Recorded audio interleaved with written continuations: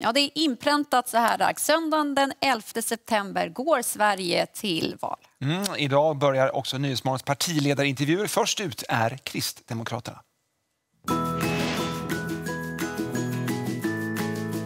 Vad kul att du vill lära dig mer om Kristdemokraterna. Vänta ska vi se. Vi bildades 1964. Kristna värderingar i politiken. Sen kom Alf, blåste på, in i riksdagen, kors i taket. Värderingar är vår grej. Oj, ja, inte på hus kanske, men familj gillar vi. Valfrihet, inte alla i samma led. Och här är ju vår Ebba någonstans. Och med sjukhussängar, de ska vi ha fler av. Köerna ska kapas. Vad är det här då? Regioner, de ska bort. Den här kön också. Ansvar, hårdare hårdare nypor, vattenkanoner och... Hmm, är det skarpt det här? Slut med saft och bulle. Om det inte är ugnen och förlossningsvården ska inte krysta runt på vägarna. Och vem kan det förresten? Kolla här! Sänk skatten vid pump och bygg fler såna här också. Strålande! Miljön, ja visst, men folk måste ju bo också. Snyggt hus förresten. Vad kostar det?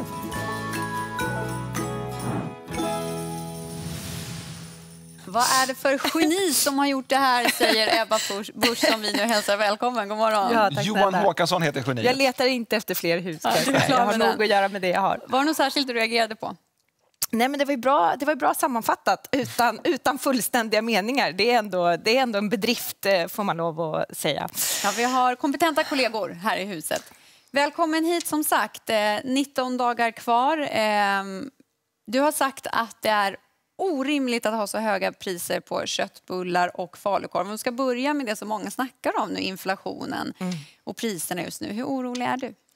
Men jag har ju sagt att det är så dyrt att vara svensk och det har blivit för dyrt att vara svensk. Eh, och en del av det här går inte att påverka, men en del går faktiskt. En del är faktiskt resultatet av politiska beslut som togs långt innan Putins invasion av Ukraina. Så att, eh, hur mycket ilska jag än har över det mänskliga lidandet i, i, i Ukraina, eh, över, över det krigsbrott som, som Putin gör sig skyldig till, eh, så köper jag inte att man kallar det här för Putinpriser. Det här är, är Magdapriser.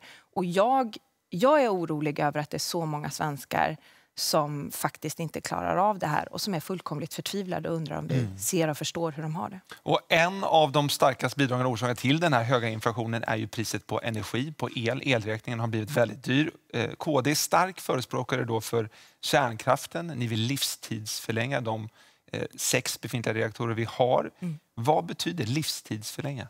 Ja, men det handlar ju om att göra så mycket förbättringar och upprustningar man kan av de kärnkraftverk som, som Sverige har idag eh, och se till att de kan leva sin maximala livslängd på ett säkert och bra sätt såklart. Och inte göra som vi gjorde med Ringhals 1 och 2 som vi faktiskt la ner till, i förtid. Nej, det var inte aktiva politiska eh, beslut men det var politiska förutsättningar som såg till att Ringhals 1 och 2 lades ner. Eh, och dessutom, vi la fram, man kan googla på det, 22 januari 2020 la vi fram förslag i, i Sveriges riksdag om se till att vi inte stänger Ringhals 1 och 2.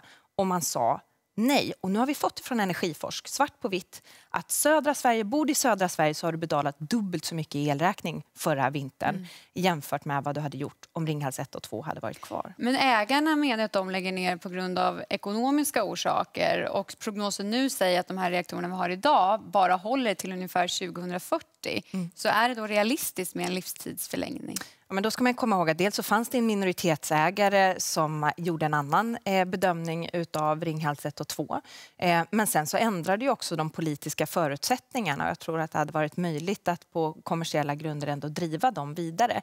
Men nu, gjort är gjort. Eh, och nu handlar det om att livstidsförlänga det som finns. Men det går inte hur långt som helst. Ja, det är bara och då behöver år. vi, ja, och då behöver vi bygga nytt. Eh, och inte uppfinna hjulet på, på, på nytt. Jag önskar att, hade jag fått leda Sverige så hade jag velat kroka arm med eh, Frankrike och Macron som nu bygger massa nya kärnkraftverk med Storbritannien med andra länder och sett vad har de för standard, vad godkänner de, kan vi tillåta samma här för att snabba på processerna. Men vi behöver inte titta så långt som till Frankrike och Storbritannien. Vi kan titta på grannlandet Finland som mm. ju faktiskt har byggt en ny eh, reaktor. Världens näst dyraste byggnad, 87 miljarder kronor. Man översteg budget med över 50 miljarder. Mm. Skulle varit igång 2009. Man är fortfarande inte i full drift utan man siktar på december. Eh, är det här verkligen liksom en framtids kraftslag med tanke på, på det? Nej, men så låt oss eh, lära av andra länders misstag och istället utgå ifrån länder som har haft smidiga processer eller haft krångliga processer men se att ja, men det, här är en, det här är en modell som har fått godkänt. Skulle den också kunna få godkänt i Sverige har vi liknande förutsättningar. Då behöver man inte dra man behöver ha en tillståndsprocess i Sverige också, men den behöver kanske inte vara lika lång. Vi behöver inte uppfinna hjulet på nytt varenda gång. Och som sagt, vi behöver ha vindkraft där, där det är välkommet. Vi behöver ha solkraft, vi behöver värna vår vattenkraft och uppdatering av dem. Men vi kan liksom inte, vi kan inte be fram liksom energiförsörjningen i Sverige med, med liksom hjälp av vädergudarna. Mm. För ibland blåser det inte, ibland skiner inte solen. Och svensk industri, svenska arbetstillfällen värnas bäst genom eh, energi som är utsläppsfri och som levererar mycket 24-7. Det är också fullkomligt avgörande för att klara klimatomställningen som är verkligen en ödesfråga mm. för vår tid. Ska vi klara att ställa om industrin och transportsektorn utan att, att säga, ha ihjäl vår egen befolkning, mm. då krävs det mer kärnkraft, mycket mer el framöver. Men sista frågan på energifrågan, för du var inne på vindkraften. En, ni betonar ju ännu inte den utan väljer kärnkraften och om man jämför de här två så ser man att vindkraften ger billigare el och den är billigare att producera och det går snabbare. Varför inte trycka mer på det? Ja, men också återigen Energiforsk och även en SOU från 2017 visar att ja, men den landsbaserade vindkraften ja, men den är något billigare än kärnkraften. Men jämför man havsbaserad vindkraft med kärnkraft, ja, då ligger de i paritet med varandra. Dessutom om så sjunker priset kraftigt på kärnkraften om du låter dem gå så länge det bara är, är, är möjligt. Men framförallt jag är inte emot vindkraft, men jag är emot att lägga Sveriges konkurrenskraft, Sveriges arbetstillfällen, Sveriges klimatomställning och Sveriges familjers hushållsekonomi i händerna mm. på vädergudarna och när det blåser och när solen skiner. Det är alldeles för riskfyllt. Hade du velat bo bredvid en kärnreaktor? Ja, och jag bor ju, jag bor ju i Uppland, det är inte jättelångt ifrån eh, från Forsmark. Och titta på de som bor i Östhammars kommun till exempel. Där är där är stödet stort för, för kärnkraften. Vi måste se att det här är det är något fantastiskt med, med utsläppsfri el som levererar på julafton, midsommar, 24-7 mm. och, och det borde vi värna. Vi går vidare till det som kanske kan beskrivas som en av Kristdemokraternas hjärtefrågor, nämligen eh, biståndet. Ja. KD betonar ju den gyllene regeln. Allt du vill att människor ska göra mot dig ska du också göra mot dem. Mm. Och då är liksom bistånd ett liksom tydligt exempel på det. Varför är det viktigt med ett högt bistånd, 1 av BNI. Men det är precis som du säger, Kristi Kristdemokraterna handlar inte om du kan tro på någonting, du behöver inte tro på någonting alls, men det handlar om de värderingarna som består över tid och det ansvar vi har för våra medmänniskor. Och har vi ett, ett gott välstånd, då är det också rimligt att vi hjälper andra människor i nöd. Vi har närmare 100 miljoner flyktingar eh, ungefär runt om i världen. Bara titta på det som händer i Ukraina. Nöden är väldigt stor och vi kan inte hjälpa alla här. Vi behöver, Sverige behöver ha en stram och, och ordnad migration för lång tid framöver. Eh, och ska vi både kunna hjälpa så många som möjligt och ha ordning och reda i Sverige då är det viktigt mm, också av moraliska skäl med ett generöst bistånd. Men här har vi då att det börjar gnissla lite när du pratar med dina eh, tilltänkta eh, samarbetspartier. För både Moderaterna och Sverigedemokraterna vill ju sänka biståndet. Mm. Eh, hur villig är du att kompromissa om det?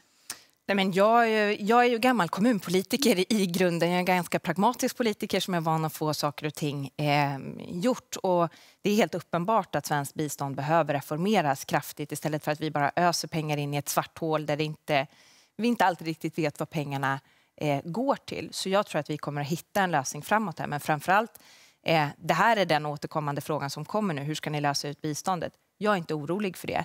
Titta på på, på vårt regeringsalternativ. Vi kommer överens i energifrågan, kring drivmedelspriser, i migration, kring rättspolitik. Så jämför med Magdalena Anderssons lag som har diametralt olika upps, eh, uppfattningar i alla de frågorna som är fullkomligt avgörande för Sverige. Men varför just en procent? Varför är det så viktigt? Då? Vore det inte mer intressant att ta reda på vad kan vi göra för de här pengarna och sen anpassa pengapåsen efter det? Ja, men det är därför jag säger jag är öppen för att reformera och effektivisera biståndet. Men det handlar om någon slags grundläggande princip att har jag, oavsett hur mycket jag har, in, in good times and in bad, eh, så bör jag avvara en del för att hjälpa eh, människor i nöd. Och den medmänskligheten det är också det som gör att vi betonar vårdfrågorna så tungt till exempel.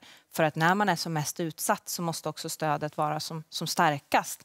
Och det är därför det är så allvarligt att vi inte har en, en välfärd och en vård som fungerar i Sverige. Men jag tror att det här, det, den här principen, den här ideologiska utgångspunkten, den leder oss när vi, när vi utformar hela vår politik. Skulle du kunna tänka dig att göra upp med andra partier angående, det är ju bara SD och M som inte eh, skriver under på enprocentsmålet.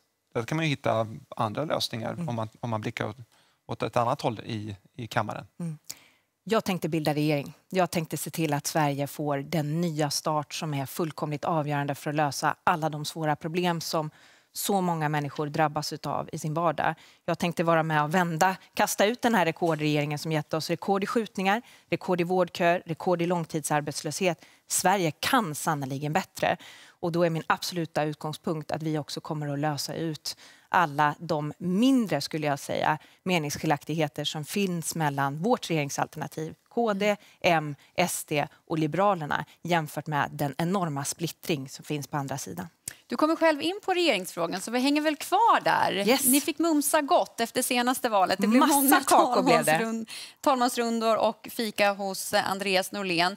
Här på bordet så har vi då olika eh, fikaalternativ. Storleken beror då på partiernas storlek och som är baserad på en sammanvägning av opinionsundersökningar från SCB, Sifo, Demoskop, Novus och Ipsus. Du nämnde själv ditt eh, regeringsalternativ. Ska vi se hur det ser ut? Hur formerar du det? Alltså, här vill jag då ändå rikta skarp kritik till TV4. Hur tusan blev vi en punschrulle? Nej, det här är ju dammsugare. ja, men, ja. Kritiken är befogad, jag håller med Jag gillar dammsugare. Ja, vad bra, vad bra. Då finns det någon det som finns, kanske är sympatiskt inställd det till det här. Men all, alla förstår ju då att, eh, att, eh, att det är svårt med ett helt kakfat bara med punschrullar. Ja. Eh, så den här rulltårtan som är Ulf Kristersson jobbar jag ihop här då. De äter man nästan i samma tugga så att säga? Ja, det har nog aldrig skett förut, men nu är det det man får här med, med det här upplägget. Och sen så vill vi ha ett nära och bra samarbete med den här kokostoppen och med Ja, vad är det här? Ja, vad är det där? Jag det är en kolakaka. En kolakaka. Mm. Mm. Är det verkligen det? Du ser tveksam ut, Martin. Alltså, ja, jag, jag, jag vet inte med de här pärlsockret på. Ja, släpper det. Det här är också väldigt fördelaktigt med kanelbullen. Alla vill äta kanelbulle. Men jag skulle säga så här, problemet här är ju att, att eh, man vet ju inte vad man får. Man röstar på kanelbullen, men sen ska det här in, det här in, det här in och det är inte riktigt kompatibelt. De meningsskiljaktigheter som vi har här, det kommer vi att lösa ut. Men KDM i regering, nära, respektfullt, bra samarbete med SD och L. Men de här är verkligen då i regering och här så har ni, du nämnde ju vård mm. liksom, som är profilfråga. Mm. Där vill ju M inte förstatliga sjukvården. Hur ska ni mötas där? Nej, men jag tror att eh, här, här måste ju svenska folket säga sitt. Alltså, ehm, nu är det som sagt 19 dagar kvar och man får välja. Fyra år till med det här. Tycker man att det har funkat bra så som det har varit? Är man nöjd med sin elräkning? Är man nöjd med matpriserna? Eh, är man nöjd med vårdköerna? Är man nöjd med skjutningarna? Mm. Ja, om man känner så här, nej, Sverige kan ändå bättre, då får man välja på de här fyra lirarna. Och då ska jag säga, då får man ordning och reda i migration, i rättspolitik, i energifrågorna. Men tycker man därtill att då vårdfrågan, vad som händer med vår välfärd, vad man får för skattepengarna, det ansvar vi har för medmänniskor när man är som, som svagast, när man har fått allvarliga sjukdomsbesked och mm. därtill landsbygdsfrågan, att hela Sverige ska fungera. Då behöver det här, det här får gärna bli liksom en bulle då. Så. Men då får man gärna rösta tungt här. Ja, men eh, den där dammsugaren är ju då ungefär en tredjedel av Sverigedemokraterna, en tredjedel av Moderaterna. Och ni tycker ändå olika i frågor som vad gäller a-kassan, vad gäller marknadshyror. Tyck, förstår du att eh, KD inte kommer få igenom allt det här och att det är rimligt att SD och M får igenom mycket mer? Nej, men att de får igenom sin politik också, att vi hittar konstruktiva sätt att förhandla. Absolut. Men jag skulle säga att de problem som Sverige har nu, de är så pass allvarliga så att det är nog för att fylla en hel dagordning för en hel ny regering. Mm. Och jag skulle säga att eh, alltså, är det någon som går runt med liksom, politisk kryptonit, i, kanske inte i fickan, men i sitt eh, regeringsunderlag, så är det Magdalena Andersson. Och det är otroligt riskfyllt oavsett vad man tycker om Magdalena Andersson mm. som person, att rösta för det regeringsalternativet medan vi har då hittat bättre sätt då Ja, och då därför att det är Miljöpartiet som är den politiska Vi märker i alla fall att du är en trogen Nyhetsmorgon-tittare där med kryptonit Ja. i Ser ut för fickan. de som förstår det. Tack så mycket Ebba Busch för, den här, Tack så mycket. för det här samtalet.